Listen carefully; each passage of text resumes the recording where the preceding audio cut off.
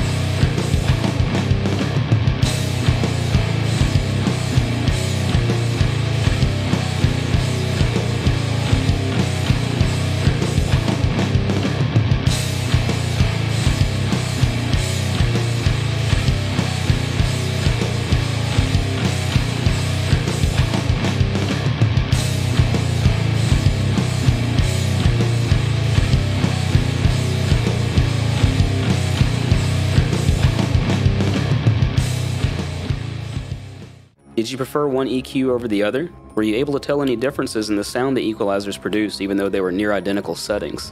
Leave a comment below and let's discuss. And as always, if you like the content you're seeing, be sure to like, share, and subscribe, and you can support the channel further by clicking the Buy Me a Coffee or Patreon link below.